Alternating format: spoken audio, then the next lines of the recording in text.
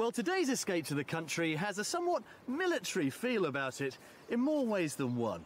The body of water behind me was once the training area for what became one of the most audacious airborne operations of the Second World War. And it was based on a very simple principle a child skimming a stone over the surface of the water.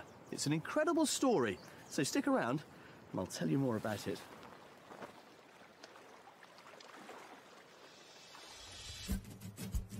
In today's show, I'll be helping some house buyers who take a lot to be impressed. This is the first wow I've heard, actually. but when we go large, their responses get better and better. It's big. Very big. that is a surprise. First impressions, that seems yeah. good value. Well, today we're in Derbyshire, and this is Derwent Water and the mighty dam that contains it. Now, back in 1943, this valley and the skies above me would have reverberated to the sound of RAF Lancaster bombers training for what became known as the Dam's Raid. It was daring yet simple. Drop a bomb from just 50 feet over the surface of the water, watch it skim up to the dam, sink, and then explode. Their target were the great dams that dominated Germany's industrial heartland, the Ruhr. The raid itself was a fantastic success. It gave the country a much needed morale boost. And for all those who were involved, well, they became immortalised as the Dam Busters. Situated mainly within Derbyshire's borders but nudging over into neighbouring counties, the Peak District became Britain's first designated national park back in 1951 and the area comes with two distinct geological landscapes. To the north, there are the wilder moorlands of the Dark Peak, which rear up, creating a rugged skyline, while in the south, you'll find the much gentler limestone slopes of the White Peak. The wooded dales, pretty villages, and network of walking trails across this part of the South Pennines are a huge draw for around 8.5 million visitors a year. One of the Peak District's most renowned locations is the spa town of Buxton, which has been on the map since Roman times. Indeed, one of the great attractions for them was the supposed health benefits of the town's thermal springs. And the fine Regency and Victorian buildings in its centre a testament to the town's fortunes over the centuries, thanks to this natural resource. With villages and a landscape that have inspired writers such as Jane Austen and Charlotte Bronte, it's no wonder the Peak District remains an appealing option for aspiring escapees. Now, across Derbyshire in general, your average detached will set you back £200,000. It's a lot of money, but it is, however, £55,000 beneath the national average. But step inside the national park, a real hotspot, and that figure can jump to 300 grand. But when you're surrounded by gorgeous countryside such as this, can you really put a price on it? For just shy of £400,000, this two bedroom detached stone cottage in Winster is worth a look. Dating back to the 1650s, the living room holds on to its stone fireplace and exposed beams, which also run through the open plan kitchen diner. Outside provides a generous one and a half acres of land with delightful countryside views. Or what about this extensive four bedroom stone property in Colton on the market for £585,000? The pale oak wood of the roof beams and the wood burner add a warm rustic feel to the sitting room. There's also plenty of space and light in the characterful kitchen, and outside, the half acre of grounds really offset the property's elevated position. For a budget stretching to £795,000, this former watermill in the Hope Valley has been refurbished to provide high spec contemporary living areas.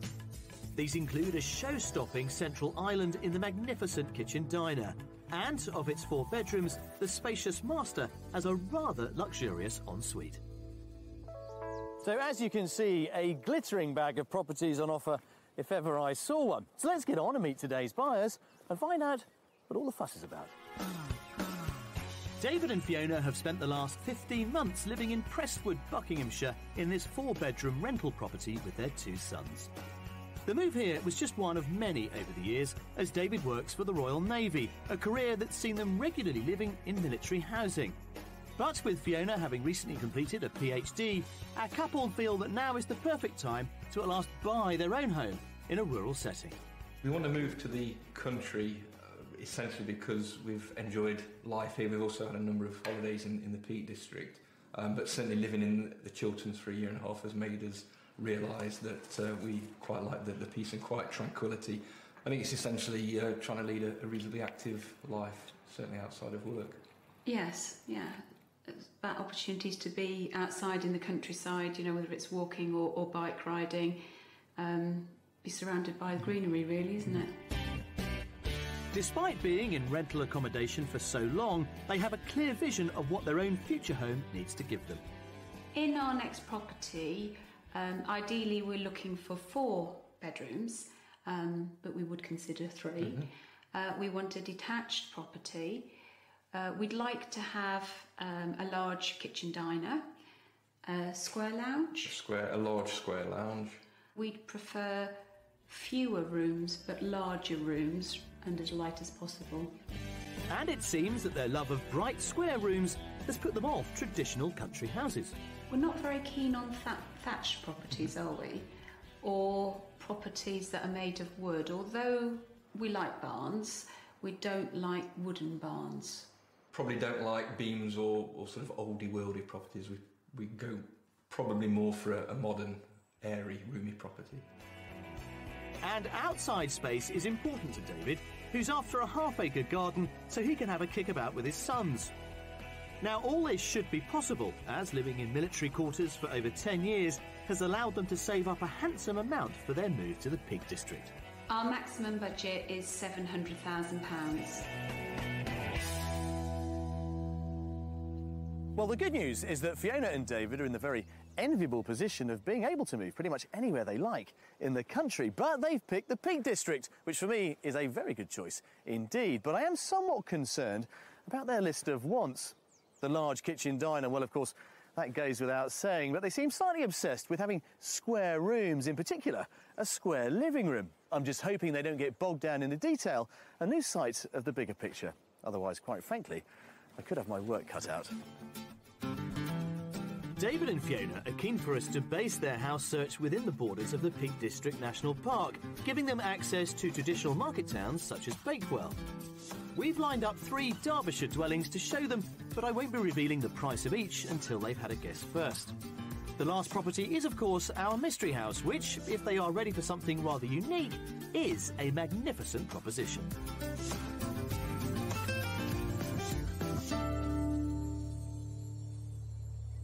Well, guys, it's lovely to see you up here in Derbyshire. Thank you. Now, over the last few years, you have moved, goodness knows how many times, due to your service life. That's right, yeah. We've spent quite a bit of time in Portsmouth and we're now at um, RAF Halton in the Chilterns. Um, but we're looking now to move and, uh, and settle down and lay down permanent roots. I bet you can't wait, Fiona. Uh, yeah, I'm quite excited actually because uh, we like this part of the world, don't we? Um, we like the hills and the Chilterns are beautiful, but uh, we really like the wildness of this area when you get up onto the moors and things. Yeah. But of course, the good thing about being in this position is that you're ready to move straight away. So if we find you the perfect house, you know, today or tomorrow, you could be in in weeks. yes, we'll we could. Good, good yeah. to go. Yeah. Now let's have a think about the budget. Seven hundred thousand pounds is a nice sum to have. The best part of a, well, three quarters of a million, if you think about it. Near enough, yes. Yeah, near enough. Have you had a good look at anything up here so far? Uh, not really. We have um, done some searches online, Yeah. and last summer we did view a property in the area, didn't we? But we weren't really serious at the time, so no, I wouldn't say we've had a good look. I'd say this is very much the start of a, a good look, isn't it? So gloves are off. Yes. Yes. We're all terrified about this square living room, you know. We've been searching Derbyshire high and low for a house with a square living room. Um, but we have got you, I think, you know, three fantastic properties to look at. Your budget does go quite a long way up here, as I'm sure you will appreciate. The weather is with us. We've got some beautiful landscape to drive through. Let's get going. Come on, follow me. Terrific. For their £700,000 budget, David and Fiona would like a detached property, which gives them large square living rooms, even if it's at the expense of character. A generous family kitchen diner, ideally four bedrooms, and enough garden space for David to play football with the boys. And all of it wrapped up in a rural setting in the Peak District.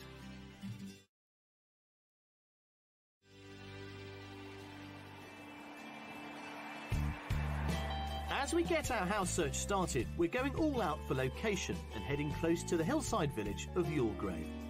Set in the heart of the Peak District National Park, it's home to around 500 residents and civic landmarks including its marketplace and church, which, although it dates back to Norman times, was largely restored in the late 19th century.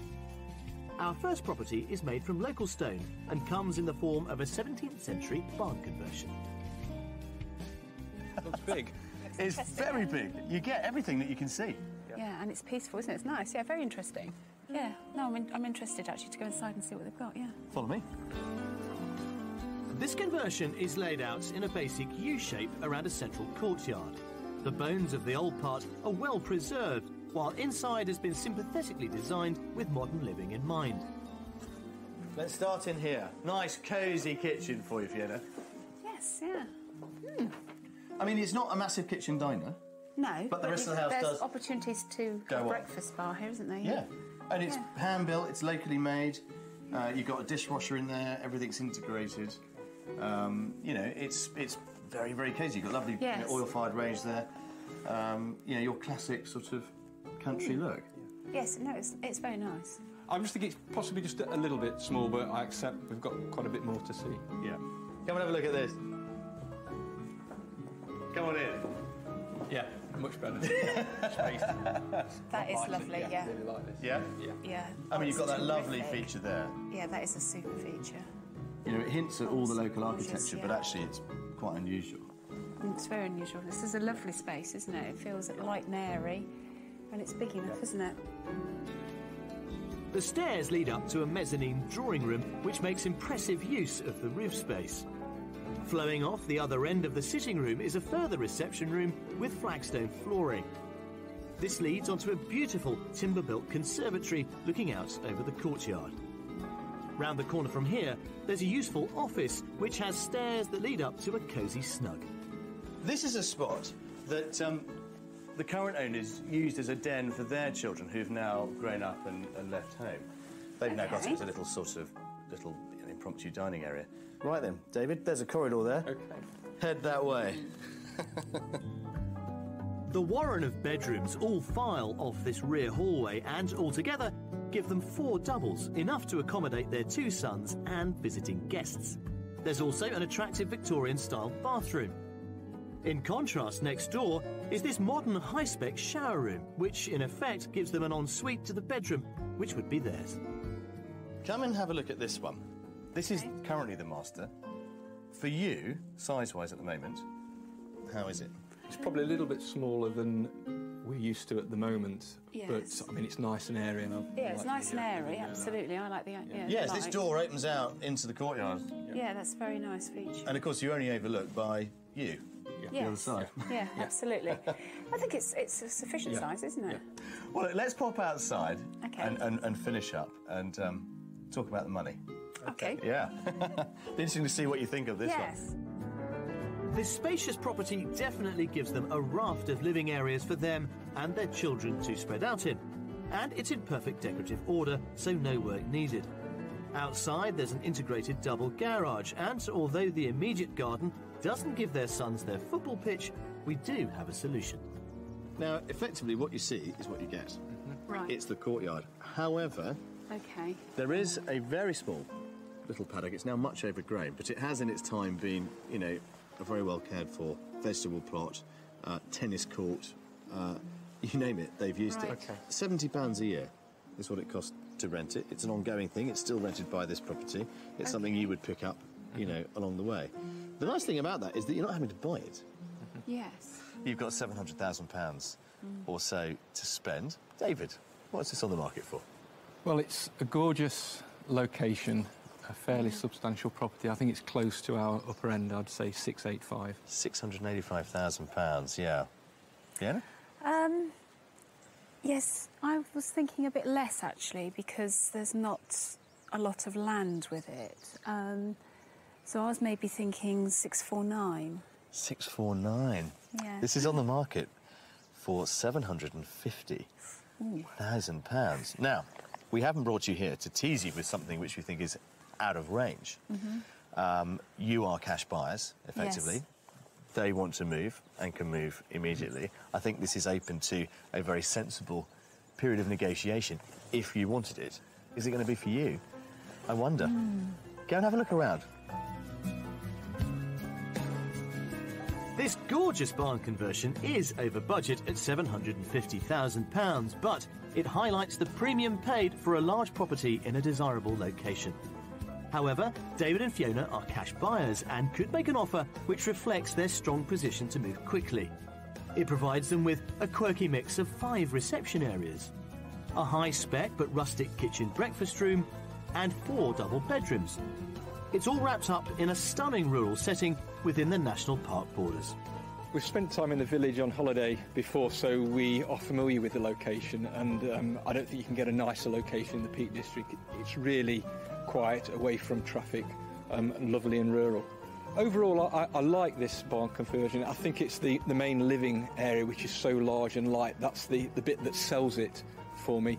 Other aspects, such as the kitchen, the study, and some of the bedrooms, are perhaps a little bit dark and a little bit small, but the main living area is absolutely wonderful. I really liked the old part of the property, which surprised me because I usually go for modern buildings, but ideally I'd like a, a bigger kitchen um, and I'd like more outdoor space in terms of uh, lawn. Aha. Hi there. How are we doing? Fine. Yeah, great, thanks. Yeah, Has this one look. grown a bit on you, David? It's, it has grown on me, yeah. Um, initial reactions were slightly negative, but uh, I can appreciate the setting and the space. Good. I love it. I think it's a good one to start with, but we've got plenty more to see. Follow me. Okay. Thank you.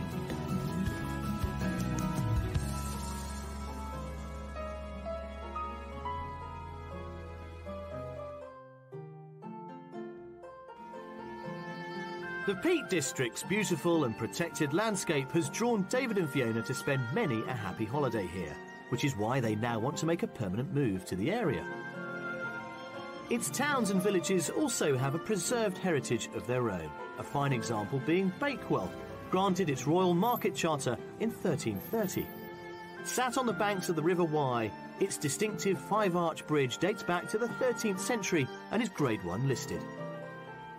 The town is also the birthplace of the traditional homegrown treat, the Bakewell pudding. And earlier in the week, we arranged for David and Fiona to drop in on Gemma Feasy, a local shop owner, to find out more.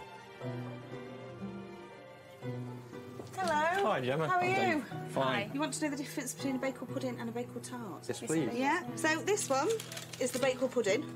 The traditional to Bakewell, the original, puff pastry base, layer of strawberry jam, eggs, almonds, sugar and butter in this one. And then this is what everybody knows as the Bakewell tart, Yes. which doesn't actually come from Bakewell. Whereas the cherry top tart is now mass produced, the Bakewell pudding comes from far more humble beginnings. It's believed it was created in the 1860s by a lady called Mrs. Greaves in the kitchen of a local inn.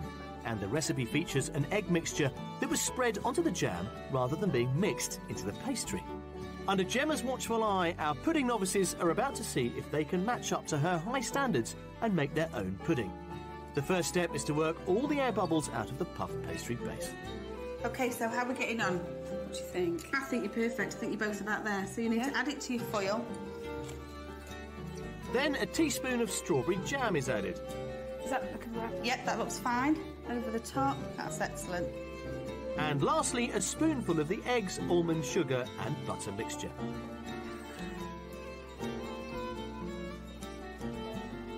Marvellous. So into the baking tray. And we'll get those baked off. 20 minutes, moderate oven. Sounds 400 good. degrees. is it? 400. Yeah, wow. Yeah. But as we all know, the proof of the pudding is in the eating. So there's only one way to find out if they've risen to the challenge. Traditionally, you would eat this warm with cream or custard. I'm a custard girl myself. To secure the identity of the Bakewell pudding, as originating from the area, Gemma is currently campaigning for it to be awarded the status of protected geographical indication, meaning that it couldn't be produced anywhere else but in the region. Hmm? Pastry's so light. I know, it tastes so good, doesn't it? Mm. Mm. Very sweet. And judging by David and Fiona's reaction, It looks like they'll certainly be providing a ringing endorsement once they make their move to Derbyshire. So are you now Bakewell pudding fans or Bakewell tart fans? I think we'll go Bakewell pudding. Excellent. Oh, it's delicious. Always love a conversion. Mmm, It's really nice. As our house hunt continues, we're going to try and redress the issue of land by heading towards the village of Baslow. Set in the Derwent Valley, Baslow's array of original stone buildings house some flourishing independent retailers and a choice of local pubs. Less than a 10 minute drive away, our second property not only gives them amazing panoramic views, but space in abundance. Okay, here we are. Property number two on a blustery peak. Yeah. Yeah. Yeah. Yeah. It's, it's very attractive. First impression impressions, it looks really nice. Yeah. Yeah, it does that, look that sort of thing does grab me and think, yeah, wow. Ah, so this is this is a this is the first wow I've heard actually. Good. Like it. What you can see here is just a part of it. It's like an iceberg. Really?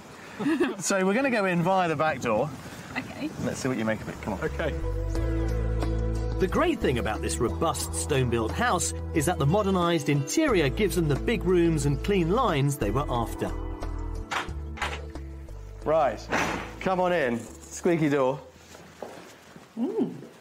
It's a nice size, isn't it? Yeah. This is, Yeah. yeah, huge. It's lovely flooring as well. Yeah, super. You've also got a little sort of day area over there. They've got a couple of sofas in. And of course, you've got the range, oil fired. That does everything. Central heating, hot water, the lot. Really? Uh, granite tops, you know. Uh, yeah, they're beautiful, aren't they? Yeah. No, I really like this. Do you? Yes, it's a very nice kitchen, yeah. The enormous kitchen leads on to a separate dining room, complete with a working fireplace. But we'll take a look at the spacious main sitting room. Now, David, I'm thinking, being a football man, this would be a room that you'd really enjoy. Yeah, absolutely. Look at the TV. Yeah. Yes. Surround sound already built in. Ah. Hey, I could make myself at home. Yeah, yeah, it's not bad, is it? It's Yeah, this is nice. Yeah. Oh, and the fire. Multi-fuel, yep, Right. burner there as well. Okay. Now, the conservatory we saw on the way in, this is it here, and this sort of flows nicely through back to the kitchen, and it gives you the views that we uh, had a glimpse of on our way in. Yeah. Yeah, it's they're really lovely. nice. And it's nicely built. You know, it's a mixture of wood, glass, and of course you've got the nice texture of the exterior wall of the house uh, as well. Yeah, it's very nice, isn't it? Yeah. I It's like a, this. it's a good space. Okay. Looking good. Yeah. Looking it is, good. actually, Are we yeah. scoring a few more points on this one? Yeah, definitely. I like it a lot more. This property just keeps on giving, and there's yet another reception room which could make a snug for the children or a study for Fiona. There's also a handy cloakroom tucked away off the main entrance hall. The large rooms downstairs seem to have measured up to their exacting standards, and the space on offer upstairs shouldn't disappoint them either, as there are five bedrooms in total. One is a large double and elegantly furnished, while another is dual aspect with a more modern decor. The third bedroom features a more country feel, while the smallest makes for a good sized study. All the bedrooms have access to the large family bathroom, which has a quality finish and a stylish modern feel. As we're about to see, the master takes things to a whole new level.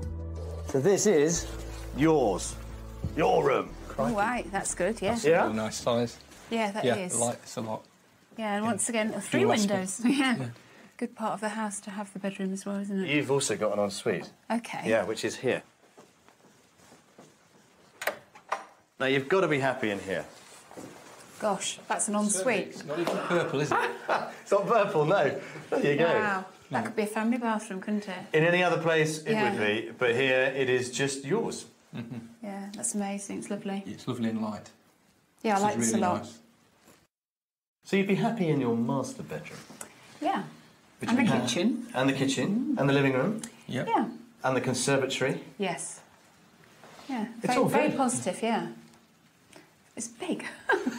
very big. And outside just gets bigger because the lawned part of the garden, as I hinted earlier, is just the tip of the iceberg. Now, I kind of fibbed earlier when I said that all you got was the garden, Right. because you also get this. Ah. All in, it's about two and a half acres, this Right. plot. So plenty of room to kick a football around. You know what's coming next, don't you? Yeah. what's going to happen now? You're going to ask how much it's worth, Jules? I am. Are you going to tell me? I can't see this being less than 750. 750, yeah. I'll go 740. You're right. You're both absolutely right to go over your budget. Right. But the good news mm-hmm. is that this has been reduced to just under your budget. Really? This could be yours for £695,000. Gosh. Yeah, that is a First surprise. impressions, that seems Yeah, good value. that is, I would yeah. say so. Right then. Yeah. Go back inside and figure out what you're going to do with all this new space we've found you. Yep. Off you go. Thank you. Oh, happy days. I do love it when a plan comes together. Under budget at £695,000, our second property gives them acres of house and land. Along with four possible reception rooms, the kitchen diner is of a size and style that Fiona loved. Amongst its five bedrooms, the master comes with a fabulous ensuite. And let's not forget, they get two and a half acres of land, plenty of space for football practice.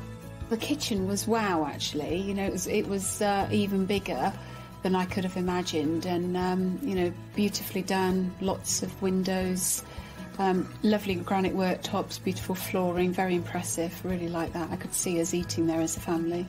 The layout works, it seems to flow from room to room. Um, there's a separate dining area. The main living room is great. It's got a surround sound system, so you, you know you could play movies there. And then going upstairs, there's plenty of space up there for, for everyone. This seems a lot of house for the money, and it, it, you know at the site we've had, it seems very good value for money. Now, would I be sticking my neck out if I said that this property had really touched a nerve with you two? It's very close to what we're looking for, It's isn't captured it? It really imagination, has, yeah. Um, in many ways, it's exactly what we're looking for. So, have we done it? Do we need to look any further? No, we've got the mystery house. We have got the mystery house. Yeah, come on then.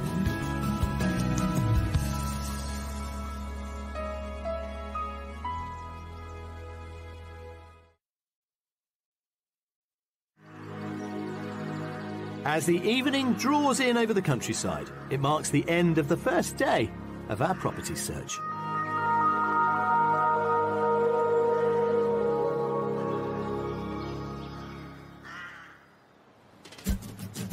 After renting in military quarters for over 10 years, David and Fiona want to up sticks from their temporary home in Buckinghamshire and put down permanent roots with their two sons in rural Derbyshire.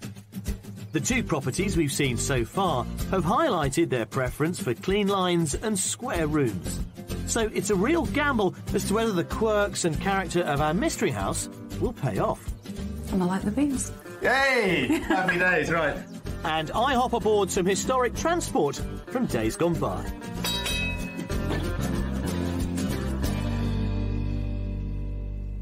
Well, our first day of house hunting was definitely a game of two halves, two very different properties and two very different reactions.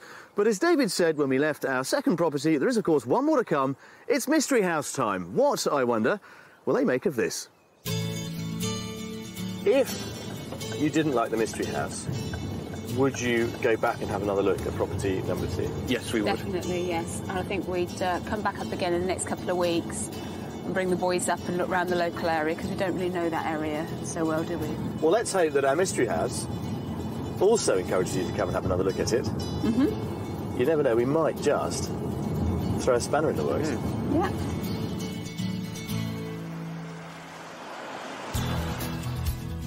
We're travelling to the Peak District village of Parwich, a gorgeous location with limestone cottages and a church set around the village green. And it's all just a stone's throw from the glorious Derbyshire Hills. David and Fiona have said they wanted modern, spacious, square rooms with outside space in a rural setting. But for our mystery house, we're turning things on their head as we're giving them a traditional property with only a small front garden set right in the middle of a village. Nevertheless, I think this offering could make a rather grand impression. Come and see what we've got as our Mystery House. Wow. That's beautiful. That's a beautiful looking property, isn't it? Absolutely gorgeous. Isn't it? Yeah, it is, yeah. This is a real historic gem. It's all been done. There's nothing you need to do to it. The community centre is just over there. That's just been finished. This is a community that's very much alive and kicking. Mm-hmm. And this property is in the middle of it. It's lovely. It's a lovely It's a beautiful property, isn't it? location, and yeah, it looks Yeah. nice. What we haven't Yeah. got are acres. Yeah. Yes. That's the garden. Mm-hmm. Okay. But we've got the village green and we've got the rest of the Peak District Yeah. on your doorstep. Right. Yeah. I can't wait to show you this one. Come on, have a look. This 18th century farmhouse is Grade 2 listed with plenty of character and traditional quirky features, but David and Fiona have really taken to the exterior. So let's see if we can keep up the momentum inside. Come on in, Fiona.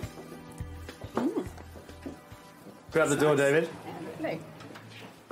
Yeah? Yeah. Yeah, that's nice actually. I do like that. The fridge is behind that uh, purpose-built cupboard. Everything in here has been handmade. It's a nice solid wood kitchen. You've got a wood burner in the corner and a little, nice. you know, Yeah. everyday sort of dining area there. Yeah, Yeah, I mean our table would fit lovely there, wouldn't it? Yeah. Our kitchen table. Yeah, I think Nice and that's simple, nice, but actually. very, very tasteful. Yeah. Great responses. So time to check out the utility room.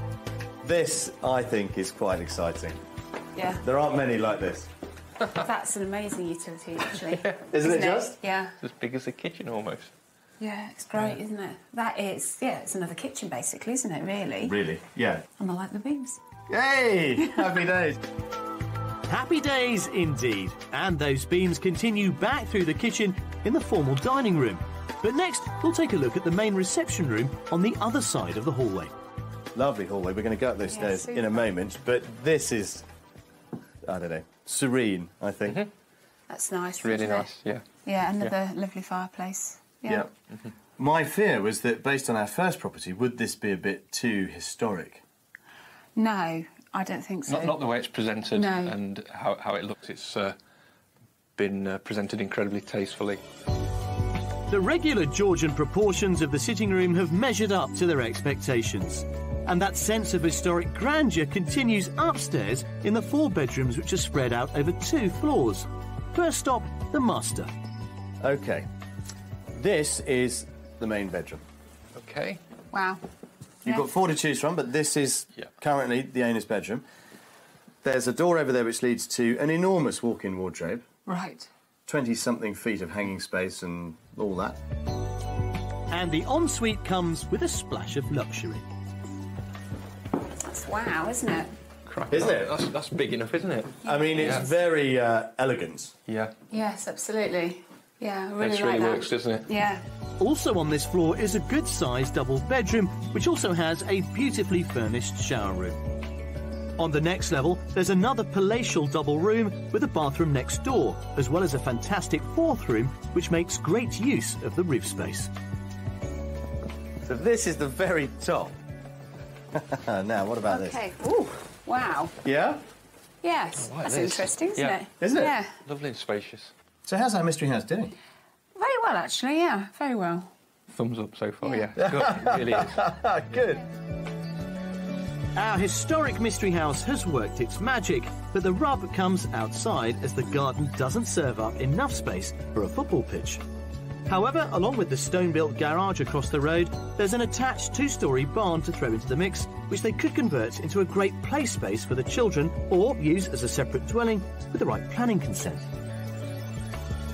Our mystery house would appear to have hit the spot. Yeah, I really like Caused that. a bit of confusion, I think, now. Good. That's a good thing. Choice is a great thing. Okay. So let's have a think about the money then. It's our final Right. price guess of our property hmm. search. Fiona, £700,000 is what you've got to spend. I can't see it being within our budget, but I don't believe you'd go too far over. Um, I'm going to guess 725. 725. I'll go um, 7.30. 730. You just got a PhD, didn't you? I did, yeah. And you're right. I'm a nail. £725,000. How about that? Excellent. It was worth Yeah. studying, wasn't it? yeah, now offers in the region of, obviously. Oh, right. But to be frank, even if you had to go that little bit over, Right. I think this is a property that you could spend the rest of your lives in quite happily Yeah. and really get your feet into a fantastic community here. Yeah, it's super, actually, Yeah. isn't it? Yeah, it's really This is a real lifestyle, mm. I think, given where we are. Yes. And you haven't seen all of it yet. Although our mystery house is currently priced over their budget at £725,000, the vendor is open to lower offers, and let's remember that our couple can move quickly. It gives them spacious reception rooms with lovely Georgian features, a kitchen diner with an equally large utility room, four double bedrooms with a fantastic master ensuite, And while it may not have the football pitch of a garden they wanted, it does give them a separate barn which has huge development potential if they can get the right planning permission. The layout of the rooms is terrific, actually. The way the the kitchen moves to the utility and then moves to the dining room, I think is really practical and functional. And I think all the rooms are a good size. Dave and I don't usually go for older properties, um, but looking at this one, and the exterior, it looks full of character, and on the interior, it's full of character, but it's also pretty modern. And it's been modernised, you know, in keeping with the building, so it's really attractive. Overall, the Mystery House um, has uh, given us quite a lot to think about. Yeah, I liked it a lot, really did. Now, these are some of the original deeds that relate to this house, and this set are dated 1834. Eight, wow. How about that? The owner left them out. I've just found them. Aren't they fascinating? Excellent. So they could be yours one day if you buy it. Yeah. That'd be good. Yeah, lots to think about, eh? Let's go and put these somewhere safe and um, get out of here. Okay.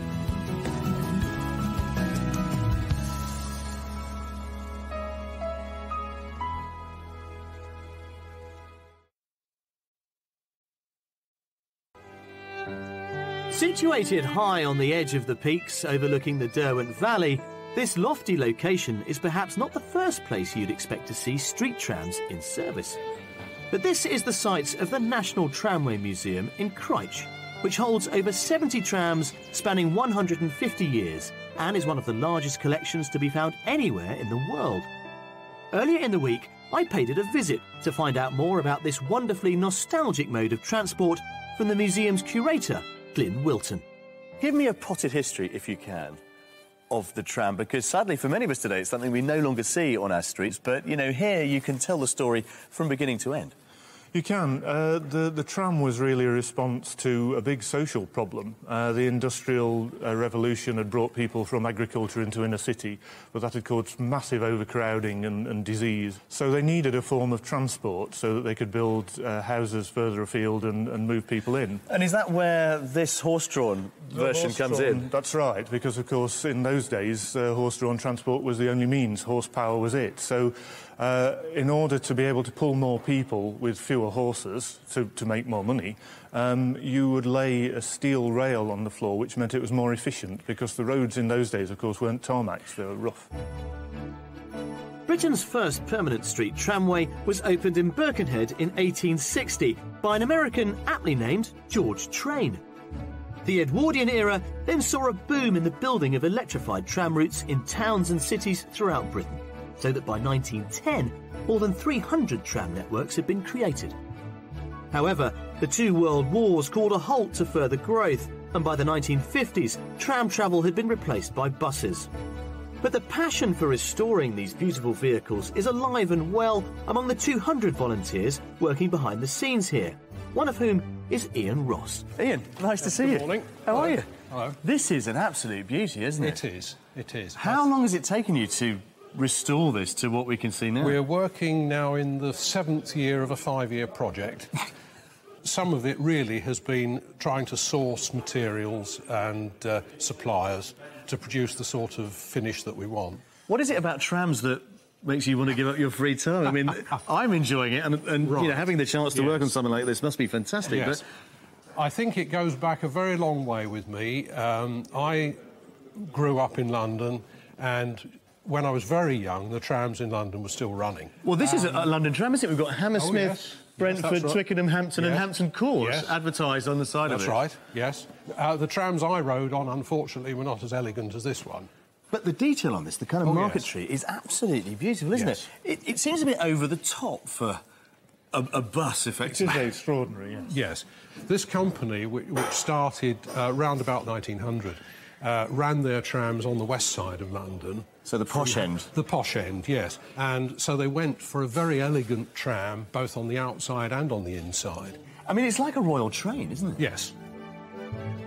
Back in 1914, the tram operators across the London area made up the largest tram network in Europe. Since the 1990s, there's been a renewed interest in the use of trams as a way of solving traffic problems and pollution, showing how this historic means of transport still resonates in the modern age.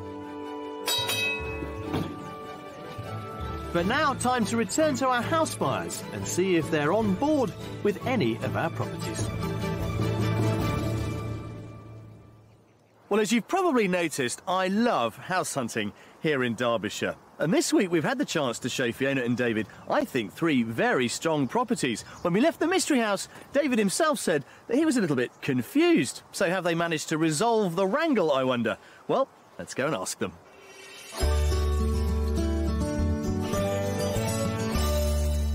So, Derbyshire, still on the cards? Absolutely, mm-hmm. yes. Well, let's just remind ourselves of the properties that we had a chance to show you. Property number one, now you've had a chance to mull it over. What do you really think of that one? The living room, the big living area, was really nice. Mm. Probably the nicest of the three properties. But as we transited through, it seemed to work less for us. Um, too many small little rooms. Yeah, I think I'd agree with that. It, it didn't quite suit our purposes, did it, mm-hmm. really? Our second property was an altogether different proposition. You wanted views, you wanted height, and we certainly had that. Yes, I mean, we were both really taken with that, I think weren't what we? surprised us was how spacious it was. It was, if anything, bigger than than something we really wanted, but left us feeling, yeah, we could live there. And that kitchen. That was amazing, actually. The kitchen was enormous and it was really nicely finished. Yeah, I like that. See, when we left there, I thought that's it. We were very taken did with we. it, yes. Yeah. And I think you said, quite rightly, David, that the Mystery House would have a lot to compete with. Yes, Um, so, how did the Mystery House do? it competed. It certainly did. yes. Yeah, I mean, I think it would be our favourite, wouldn't Yeah, it? I, I like that house a lot. Comparing the Mystery House to Property 2, it made us realise how much we would probably prefer to live in the village, so the location Yes. Yeah. became more important. And Property 3, or the Mystery House, it, the property itself was very nice, so the two combined together.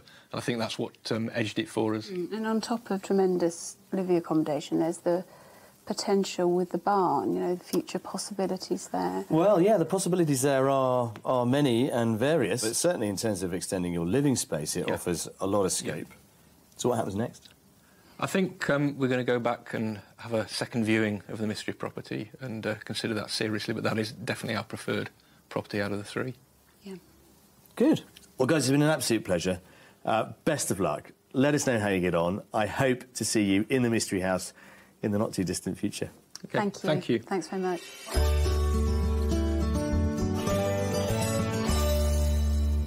You know, when we first met Fiona and David, we learned that this move of theirs had been some 10 years in the making, a decade of dreaming about living here in Derbyshire. And now, with any luck, they're just that little bit closer to turning those hopes and aspirations into a reality.